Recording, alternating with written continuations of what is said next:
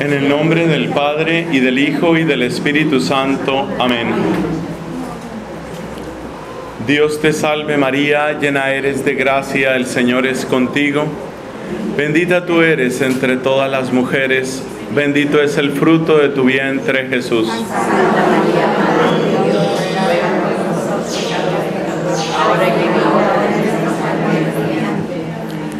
En el nombre del Padre y del Hijo y del Espíritu Santo. Amén. Vamos a hacer un intento de elaboración sistemática sobre el bien de la obediencia. Observemos que no estamos estudiando todo el voto de obediencia. Estamos estudiando un tema que se llama el bien de la obediencia.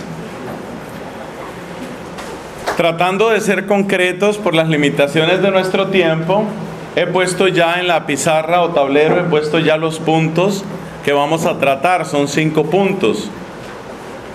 Vamos a hablar del origen, lo que llamamos luego la precondición, los tipos, la relación entre obediencia e identidad psicológica, o sea, la propia personalidad, y luego los riesgos de la obediencia. El origen de la obediencia es la escucha. Incluso etimológicamente, dice la etimología que obediencia viene de obedire, que es una derivación de audire. Audire en latín es escuchar. El origen de la obediencia es la escucha.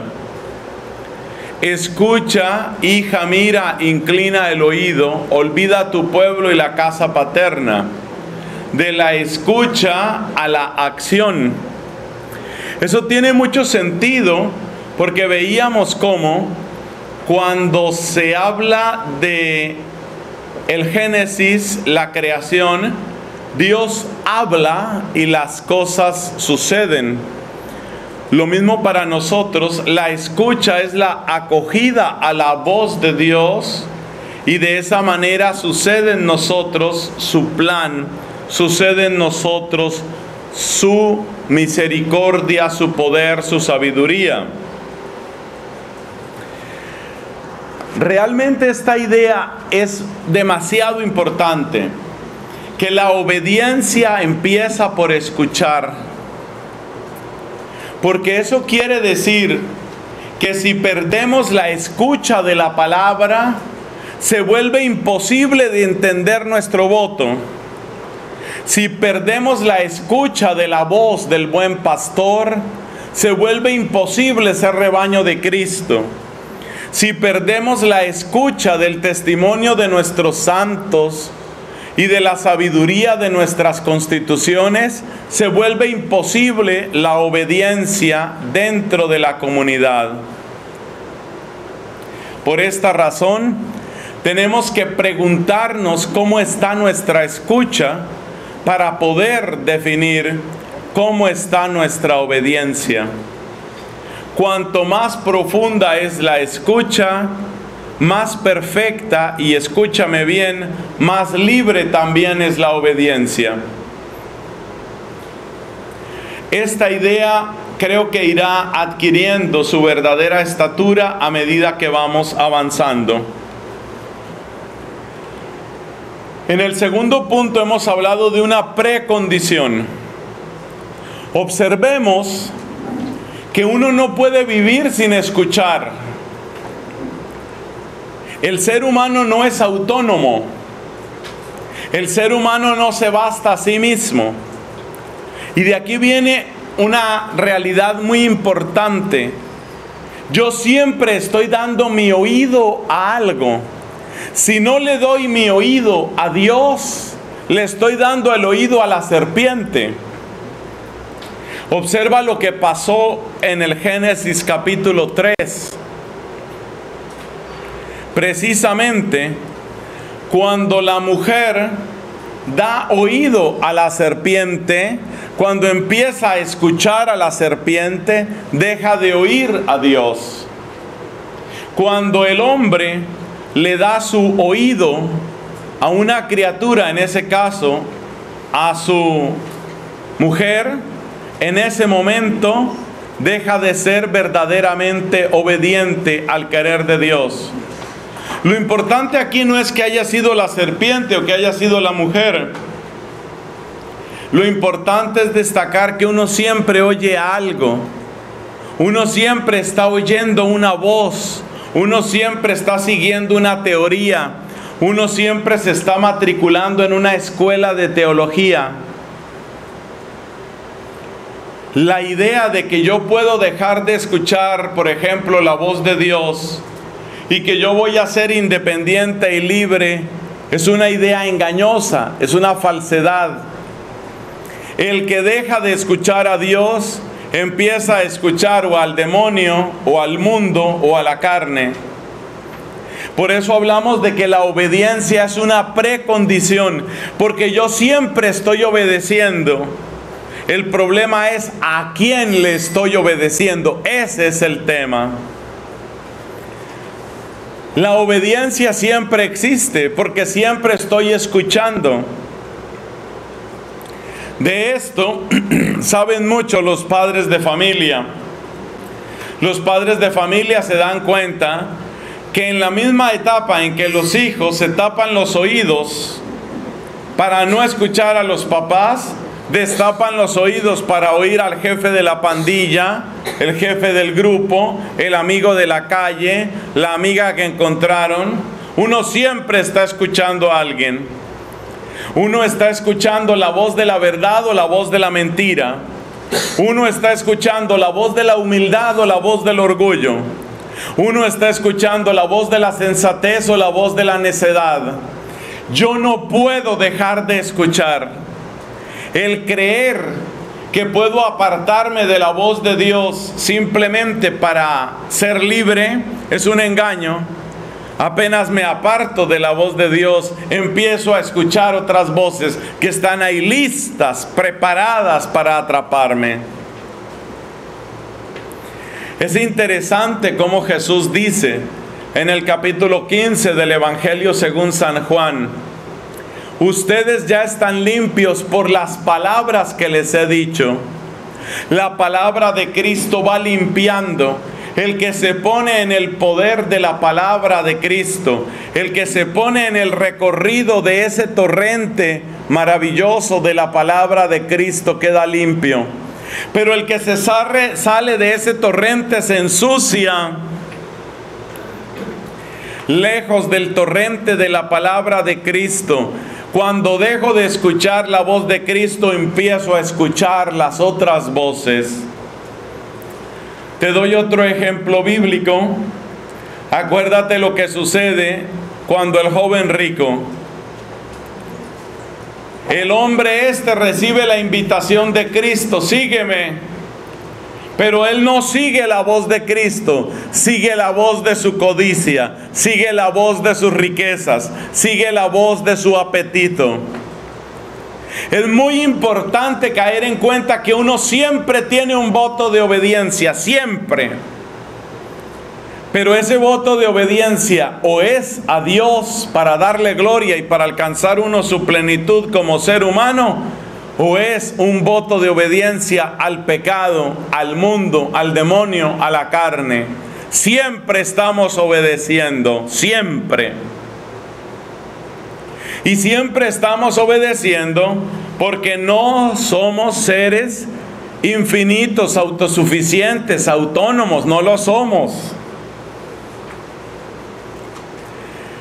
Llevamos dos puntos. Primero, el origen de toda obediencia es la escucha. Y segundo, uno siempre está escuchando. Y por eso el que se aparta de la obediencia empieza a oír otras voces, empieza a seguir otras voces. En una película que seguramente ustedes habrán visto, la película de Mel Gibson sobre la pasión de Cristo, ustedes pueden recordar lo que sucede cuando Judas sale del cenáculo abandonando a Cristo. Y ustedes se dan cuenta que apenas él sale del cenáculo empieza a oír voces, voces que le enloquecen, unas voces como de unos niños pervertidos, unos niños degenerados y perversos, que son la expresión de la burla de la inocencia por parte del demonio. Pero es que es inmediato. Judas deja de oír a Cristo y empieza a oír esas otras voces. Es exactamente lo que estamos diciendo aquí. Pasemos al tercer punto. Tipos de obediencia. Hay una obediencia que es externa y hay otra obediencia que es interna. Llamamos obediencia externa a la que se limita al hacer o a veces se limita al decir y al hacer. Llamamos obediencia interna a aquella que parte de la convicción, del pensamiento, del afecto, es decir, del santuario mismo de la conciencia. Como ya explicaba, el venerable Humberto de Romanis a mediados del siglo XIII, cuando uno entra en obediencia puramente externa, en el fondo de su corazón sigue siendo desobediente. La obediencia perfecta evidentemente es la obediencia interna. No se trata simplemente de hacer caso se trata de buscar con el auxilio del Señor, es decir, se trata de escuchar con mayor profundidad cuál es el bien al que me llama el Señor a través de la obediencia. No se debe considerar obediencia perfecta a aquella que consiste simplemente en hacer las cosas. La obediencia perfecta consiste en hacer lo que se nos manda, pero poniendo de nuestra parte el descubrir hasta donde es posible los bienes que de allí se siguen, bienes ante todo para la gloria del Dios, para la gloria de Dios, bienes para nuestro prójimo y bienes para nosotros mismos. Por eso la obediencia nuestra no puede ser la obediencia del robot. La obediencia externa es la obediencia del robot. Cuando nosotros hemos hecho voto de obediencia, no hemos dicho, bueno, yo le ofrezco a Dios la obediencia de mis manos, de mis brazos, de mis piernas. Yo obedezco a Dios con todo mi ser.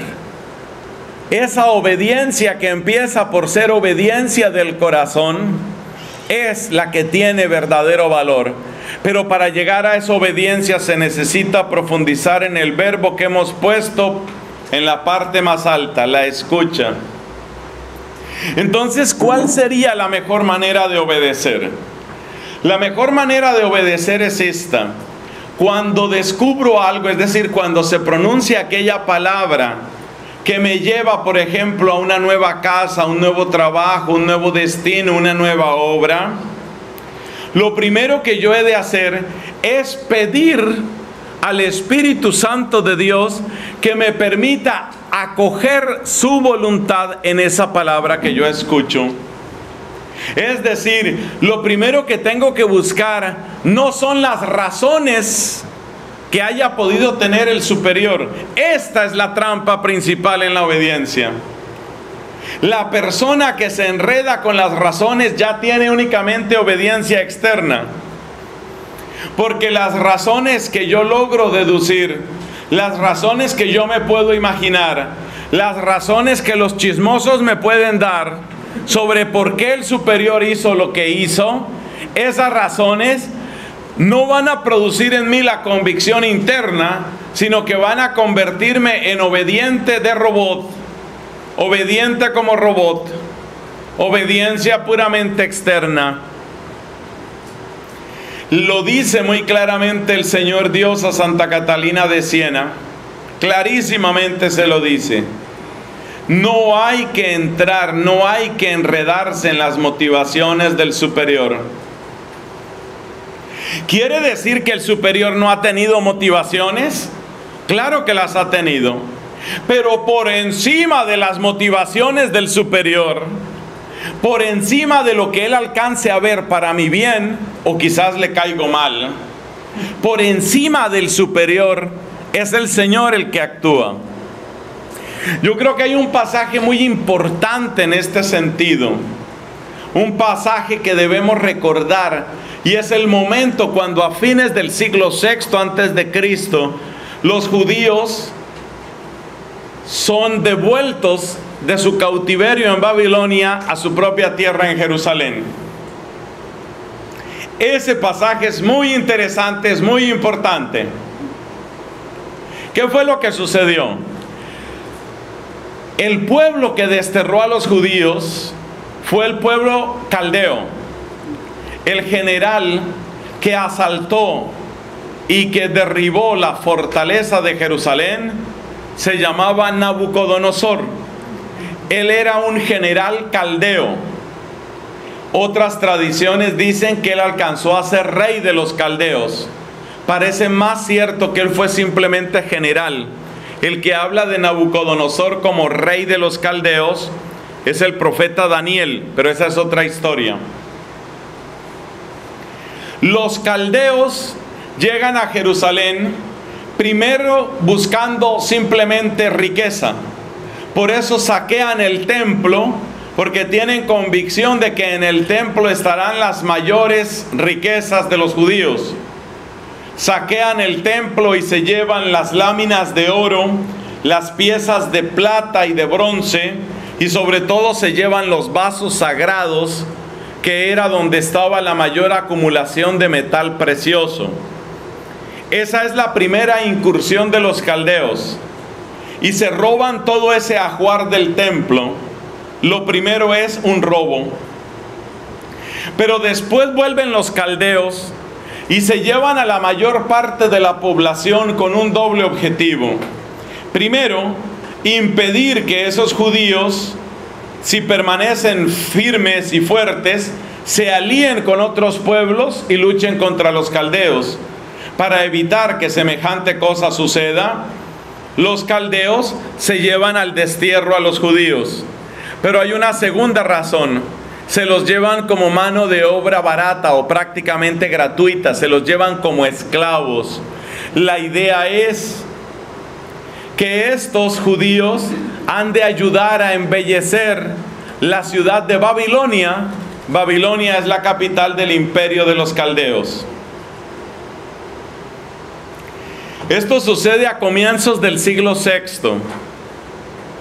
Como unos 70 años después, la situación cambia. Resulta que ha surgido otro imperio, un imperio cada vez más fuerte que es el imperio persa. Y en el imperio persa hay un rey y general de nombre Ciro.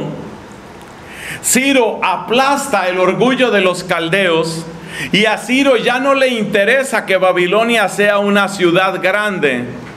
Lo mismo que los caldeos querían humillar a Jerusalén para que los habitantes de Jerusalén no se levantaran en rebeldía contra los caldeos, lo mismo los persas quieren humillar a Babilonia, no sea que los habitantes de Babilonia, recordando su glorioso pasado, se levanten en rebelión contra los persas. Los caldeos derribaron a los judíos, los persas derriban a los caldeos. Esto sucede a finales del siglo VI antes de Cristo. Entonces Ciro, el rey de los persas, quiere disminuirle el perfil, quiere disminuir la grandeza de Babilonia. Y le cuentan que en Babilonia vive una gran cantidad de judíos que han sido deportados por los caldeos. Y entonces Ciro toma esta decisión. ¿Qué hacen esos judíos ahí en Babilonia? ¿Para qué quiero yo judíos en Babilonia? ¿Para qué quiero yo que Babilonia sea grande, importante o bella? Para nada. Que se devuelvan esos tales judíos a su tierra. Allá me sirven más, que trabajen allá. Al fin y al cabo, lo que trabajen tendrán que pagármelo en impuestos. Entonces Ciro devuelve la libertad a los judíos. ¿Por qué te estoy echando esta historia? Porque Ciro representa lo que es un superior. La motivación de Ciro cuando devuelve la libertad a los judíos, ¿cuál es? Humillar a los caldeos. Su motivación es política, su motivación es económica, su motivación es egolátrica. A él no le preocupa ni le interesa Dios. Él no cree en el Dios de los judíos. Sin embargo, con su decisión está permitiendo que los judíos vuelvan a Jerusalén. Y eso estaba dentro del plan de Dios. A mí me parece que dentro de la Sagrada Escritura es uno de los ejemplos más elocuentes de cómo Dios se vale de las voluntades humanas para realizar sus propósitos divinos. Ciro le está devolviendo la libertad a los judíos. La motivación de Ciro es, quiero darle duro en la cabeza a los caldeos. La motivación de Ciro es, quiero asegurar un buen flujo de dinero de impuestos. Esa es la motivación de Ciro. Ciro no está pensando en Dios. Ciro no está pensando en la gloria de Dios ni en el bien de los judíos. Y sin embargo, Ciro está sirviendo al designio de Dios. Hay otros ejemplos en la escritura. ¿Por qué Jesús nace en Belén? Por el capricho de un emperador. El emperador quería que cada uno fuera a su tierra. ¿Te has preguntado por qué el emperador quería devolver a cada uno a su tierra? La razón es económica. Él quería que cada persona fuera donde tiene tierra para que se hiciera responsable de esa tierra, se supiera cuánto tiene y se supiera cuánto impuesto hay que cobrarle. La motivación del emperador romano, la motivación del emperador Augusto es egoísta, es completamente económica. Yo necesito saber al fin cuánta plata se está moviendo allá en Judea. Que cada uno se devuelva a su tierra y ahí vemos cada uno cuánto tiene. Era una motivación puramente política, era una motivación completamente económica y sin embargo de eso se vale Dios para que el Mesías nazca en la ciudad de David. Hubiera tenido sentido, pregunto yo. Hubiera tenido sentido que, por ejemplo, José se hubiera puesto a rezongar, a protestar, a quejarse y ahora yo con esta esposa embarazada tener que ir hasta Judea. Dios es que no se da cuenta el problema que representa viajar con una embarazada. ¿Qué pasa aquí, hombre? Hubiera tenido sentido la queja de José. Digamos que humanamente sí, pero gracias a Dios José tenía una mirada más amplia y José se da cuenta que más allá de las motivaciones humanas, Dios está cumpliendo su plan. Entonces, ¿cuál es la manera correcta de tratar a la madre provincial? Trátenla como a Ciro. Trátenla como al emperador Augusto. Pues hablando en serio, mira, la manera correcta de tratar a nuestros superiores es esta. Sea que nos comprendan o no nos comprendan, sea que les caigamos bien o mal, sea que entendamos o no entendamos lo que nos parecen sus motivaciones, no es eso lo que me lleva a obedecer. Yo tengo que bucear. Ah, ese verbo me gusta en este caso. Yo tengo que hundirme en las aguas del designio divino y buscar qué es lo que Dios quiere, no lo que Ciro quiere no lo que el emperador quiere. Tengo que buscar lo que Dios quiere.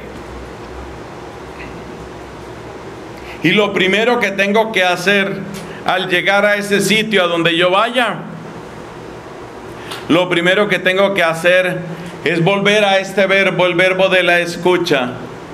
Quiero oír tu voz. Quiero saber cuál es tu propósito, Señor. Quiero saber tu propósito. No el propósito de los que le hablaron y le hablaron a la provincial para que me cambiara.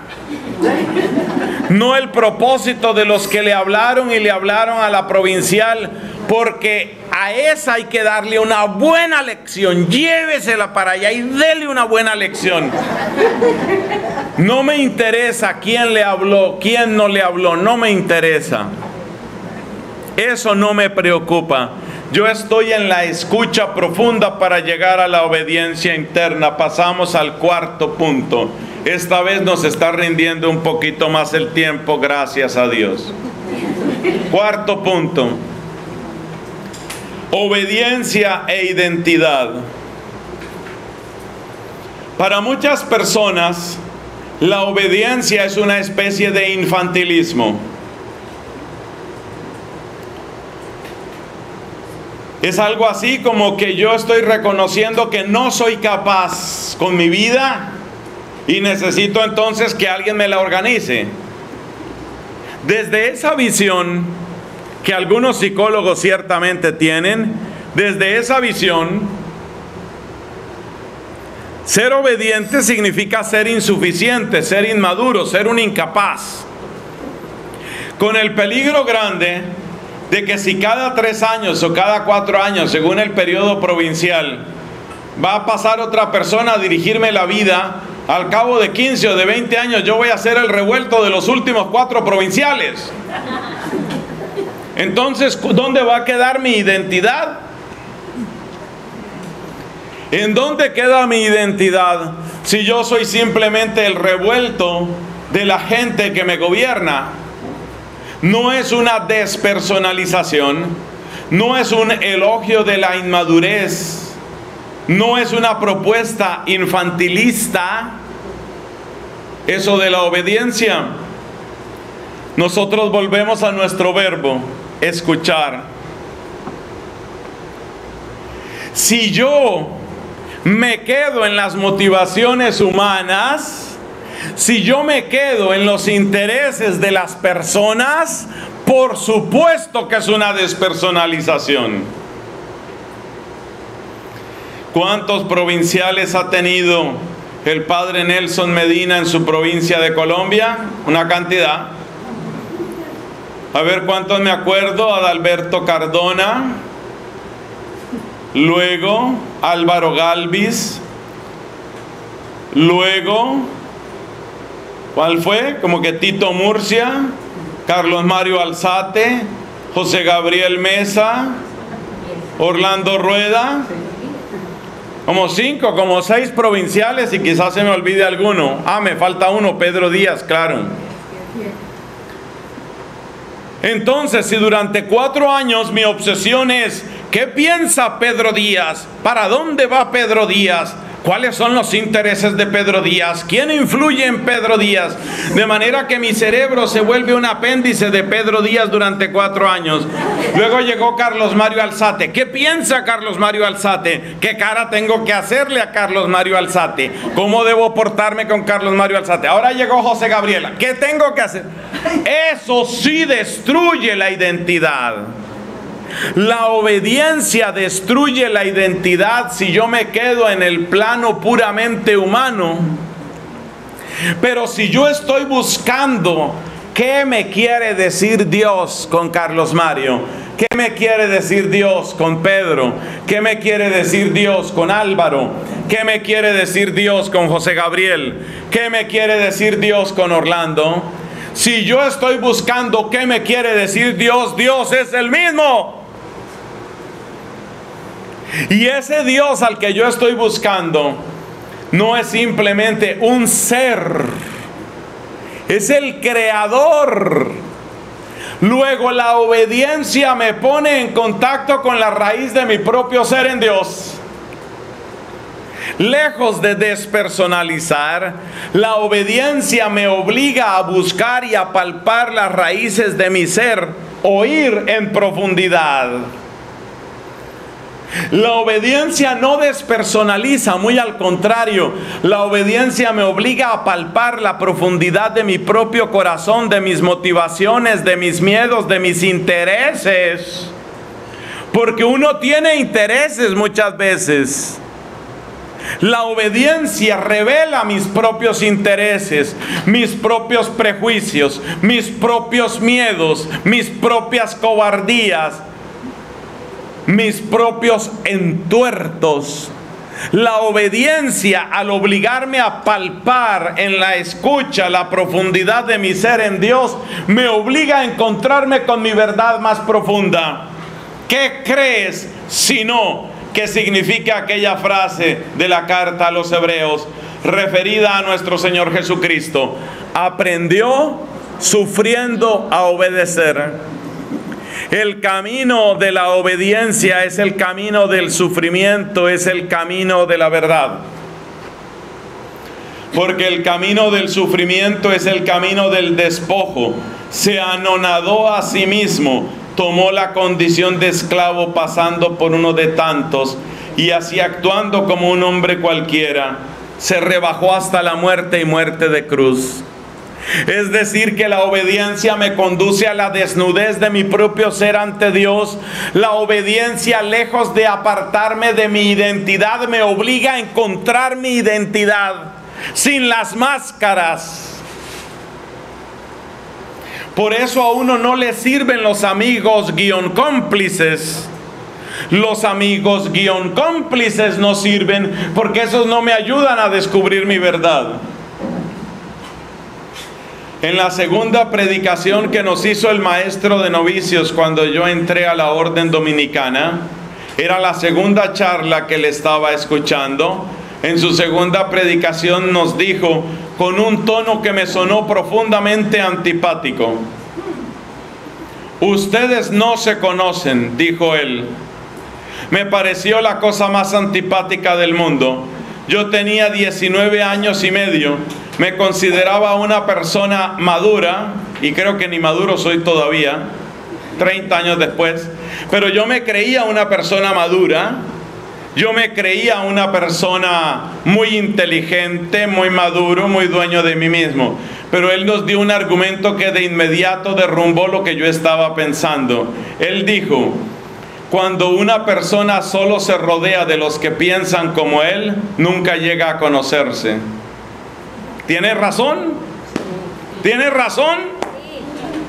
Entonces date cuenta cómo a través de la obediencia uno llega al verdadero y profundo conocimiento de sí mismo. ¿Cuántas veces le he escuchado yo a religiosos y religiosas? Me mandaron a tal cosa, yo ni sabía que yo servía para eso. ¿Cuántas veces pasa? Uno de mis mejores profesores de Biblia, hombre con el que vivo agradecido, el padre Germán Correa, mi profesor de Biblia durante muchos años, fue enviado a estudiar Biblia en obediencia.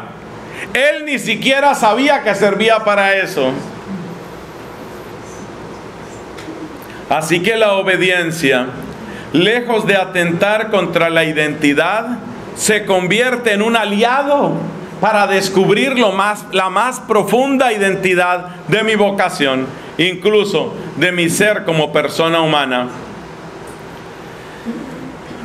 Vamos con el quinto punto y con ese terminamos en esta breve elaboración sistemática sobre la obediencia.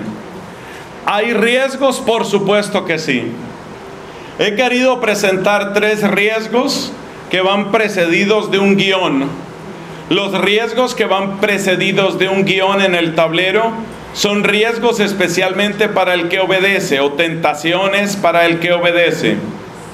Los que van precedidos de un signo más son riesgos que acechan especialmente al que manda.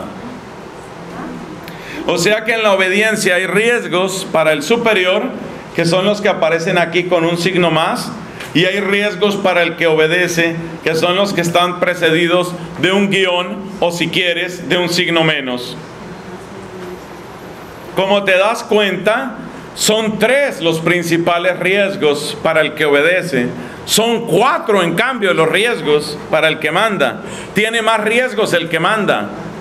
Acuérdate lo que dice la carta de Santiago. No quieran todos ser maestros, porque los maestros vamos a tener un juicio más severo. Hay que pedirle cuentas. Un día Dios le tiene que pedir cuentas a la hermana provincial y tiene que decirle, te entregué una fuerza enorme de evangelización que podía hacerle mucho bien al Perú, a la Argentina y a otros sitios. ¿Qué hiciste con lo que te di? Esa es la pregunta que tiene que estar ahí. Entonces yo por lo menos no quiero que me elijan como provincial de las dominicas. Riesgos para el que obedece. Los riesgos son los siguientes. Hay un riesgo que consiste en no pensar. Hay otro riesgo que consiste en pretender que uno piensa mucho. Y hay otro riesgo que consiste en que uno piensa y únicamente piensa sus pensamientos. Los nombres que tienen esos riesgos son fanatismo, racionalismo, subjetivismo. Ustedes reconocerán a partir de la charla pasada que cuando hablamos de racionalismo y de subjetivismo estamos haciendo alusión a la herejía modernista y la herejía relativista o subjetivista, es lo mismo. Entonces los riesgos para el que obedece, ¿cuáles son? ¿Cuáles son las tentaciones o riesgos principales? Pongo en primer lugar, lo cual puede parecer extraño a algunos, pongo en primer lugar el fanatismo. La iglesia no anima, no aplaude, no estimula el fanatismo. El fanatismo es el apagar la capacidad de pensamiento y de crítica. Cada vez que se ha permitido una obediencia fanática, es decir, una obediencia que se vuelve incapaz de cuestionar, incapaz de preguntar, suceden barbaridades en la iglesia. Las sectas tienen una estructura fanática. El superior, el jefe, el cacique, el mandamás, es el único que sabe, el único que entiende, el único que puede, el único que disfruta. Los demás son esclavos sin cabeza, son zombies. Entonces, el riesgo del fanatismo es un riesgo real. Lamentablemente hay una comunidad religiosa que pasó por esa experiencia no hace mucho, son los legionarios de Cristo. El superior de ellos, de quien Dios tenga misericordia, porque así es Dios, un sacerdote lamentablemente indigno, seriamente indigno de su vocación, Marcel Maciel, un hombre completamente corrupto, pero muy astuto en lograr que los demás no piensen. Aquí el único que tiene cabeza soy yo, aquí el único que piensa soy yo los desórdenes que sucedieron en esa comunidad de los legionarios de Cristo son muy serios. También obviamente hay gente maravillosa, hay gente muy buena entre ellos. Y lo que a nosotros nos corresponde es orar. A nosotros no nos corresponde ni criticar, ni hundir, ni nada de eso. Lo nuestro es orar. Que lo que se pueda rescatar de esa generosidad de tantos miembros de esa comunidad se, se rescate. Esa decisión fue la que tomó el Papa Benedicto, por eso decidió intervenir en esa comunidad y por eso está en este momento en un proceso, llamémoslo así, de cuidados intensivos. Con el favor de Dios va a salir a flote.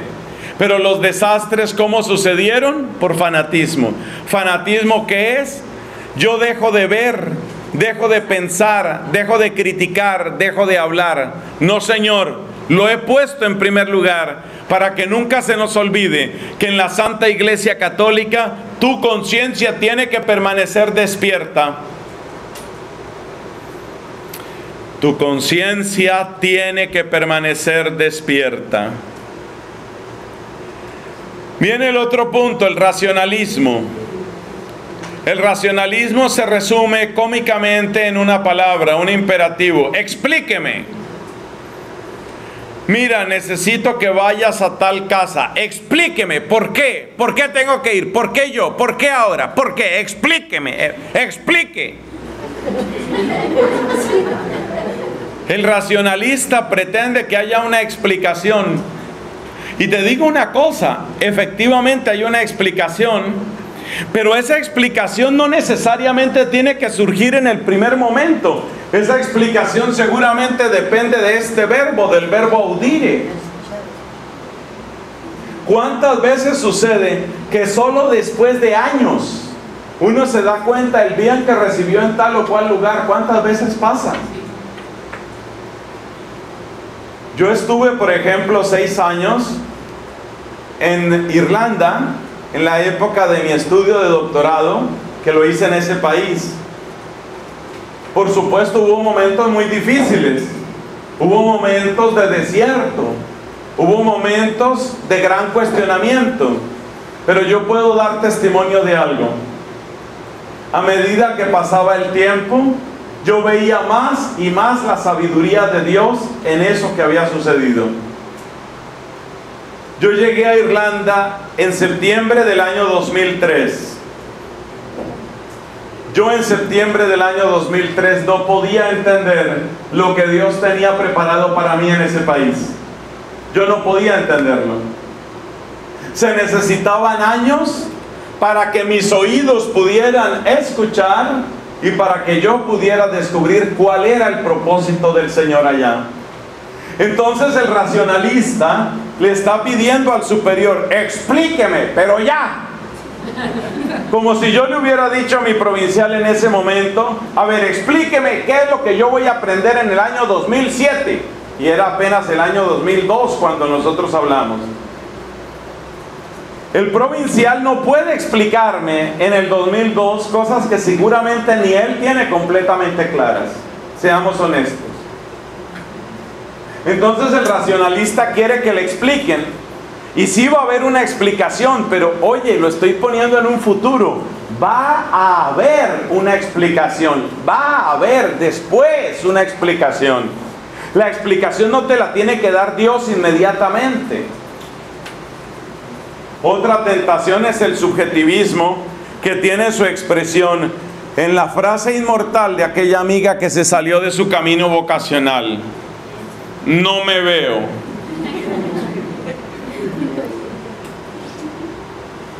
Usted está asignada para tal parte. No me veo allá.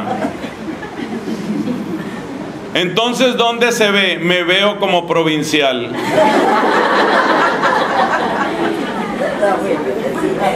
Como ya hablamos de ese tema, creo que no hay que repetirlo aquí. Tentaciones de los superiores. El lucro, según aquello del profeta Ezequiel. Lucro tiene muchas expresiones. Lucro, dinero. No es lo más frecuente, creo yo, pero pasa. Lucro en términos de prestigio. Lucro en términos de privilegios lucro en términos de ego, lucro en términos de las mieles del poder, es decir, beneficio personal, cualquiera que sea. Eso es lucro. Al superior le puede tentar el beneficio personal, que puede ser de muchas clases, desde bienes materiales hasta una exhibición de poder, una ostentación, una vanidad, un desquite. Yo he tenido que conocer casos de superiores, humanos somos, que en un momento dado se les nota eso de que, espere, que es que ahora toca hacer justicia en este caso o en este otro, peligroso. Quiero destacar que aunque suceda eso en algún superior, eso no nos exime a nosotros de la obediencia. Porque ya hemos explicado que si uno se enreda en las motivaciones del superior nunca va a obedecer y además va a desfigurar su propia identidad. Entonces, cuidado con el lucro. ¿Cómo describe la Biblia ese lucro? Estos son los que no cuidan a las ovejas, sino que se quedan con su lana. Segunda tentación de los superiores. Yo no me voy a meter en problemas que cada uno haga como quiera. A veces eso se dice con una disculpa que es la siguiente. Aquí ya todos son muy grandes, son muy maduros, aquí ya la gente sabe lo que tiene que hacer, yo no soy policía de nadie, simplemente que cada uno haga lo que le parezca, ya saben lo que tienen que hacer, ahí verán si lo van a hacer o no. Eso se llama en francés laissez-faire. Laissez-faire quiere decir dejar hacer. La frase completa es laissez-faire, laissez-passer. Dejar hacer, dejar pasar. Es un pecado, pero es una tentación para el superior. Yo me evito problemas. Yo no me meto en problemas. Cada uno sabrá, cada uno tiene que responder ante Dios. Y sí, tiene razón. Tiene razón, cada uno tiene que responder ante Dios, pero usted como superior tiene que hacer lo suyo, porque usted también tiene que responder ante Dios. Los hermanos tienen que hacer lo que a ellos les corresponde, pero a usted le corresponde hacer lo que le toca como superior. La debilidad, muy parecida al laissez pero esta debilidad de la que estoy hablando aquí es la debilidad del superior influenciable. El superior influenciable. La Biblia se burla de los gobernantes influenciables especialmente en el libro de Daniel y en el libro del profeta Jeremías, aparecen unos retratos irónicos de los superiores influenciables. Es muy chistoso lo que sucede, chistoso pero trágico lo que sucede en el caso de Jeremías. Está el rey que me parece que se llamaba Sedecías y llegan algunos de los influyentes del pueblo y dicen, oiga rey, la tierra ya no puede soportar las palabras de Jeremías, hay que eliminar a ese señor.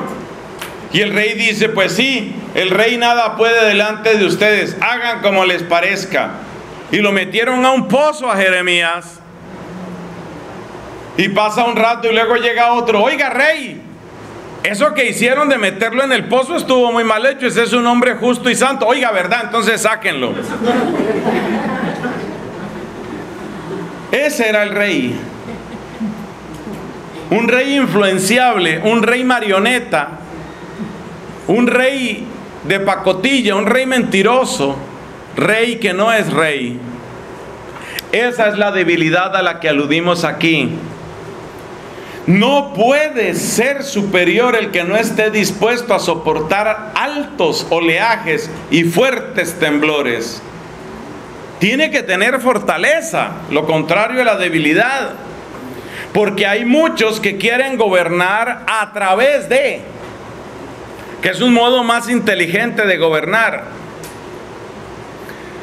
En nuestras constituciones y creo que también en las de ustedes no se puede ser provincial más de dos veces. La tercera con dispensa, ¿no? Sí, postulando. Postulando a la persona. O sea que el que quiera ejercer el poder como provincial, por ejemplo, en el caso de los frailes, tiene un límite.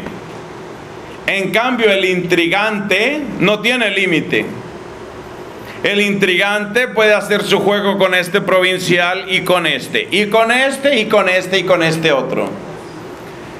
Y hay gente que quiere manejar las comunidades así por 20 años, por 30 años, por 50 años. Entonces un provincial no puede permitir eso. Un superior no puede permitir que simplemente porque una persona es muy influyente toca hacerle caso. Tiene que guiarse por su recta conciencia, por el bien de la provincia, por las exigencias de la misión, por la palabra de los legítimos pastores y sobre todo por la voz del Espíritu. Tiene que estar dispuesto a resistir el embate de las olas. Porque en todas partes hay gente que se considera así con mucha fuerza. Porque están acostumbrados a influir muchísimo. Entonces un buen provincial, un buen obispo, un buen superior tiene que estar listo a frenar, a tener claro que su independencia, la independencia de su conciencia, la independencia de su juicio es un bien para la comunidad. Buscar lo que es mejor para la comunidad, buscar lo que es mejor para la gloria de Dios, para el bien de la iglesia, para las necesidades del prójimo. Buscar lo que es más concorde con la mente de la iglesia.